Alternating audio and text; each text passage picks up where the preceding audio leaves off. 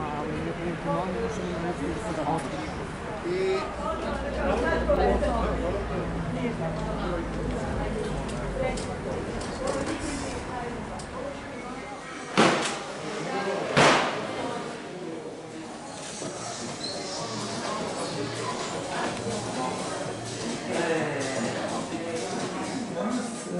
je moj zadatak da vas upoznam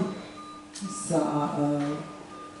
pojmom e-građanin svako lice koje je barem jednom uh, kreiralo korisnički nalog na nekom državnom portalu i pokušalo ili ostvarilo barem jednu uslugu na nekom Tako da ako ste negde se logovali i pokrenuli neku uslugu, i mukotrpno nakon one mučne uh, agonije sa matičnim knjigama i upisivanjem iz papirnog oblika u elektronski, kada smo skupili što više podataka i još uvijek imamo sve, mi kao država znamo da o vama imamo te podatke i nema potrebe da tražimo da dođete na šalter, da donesete uh,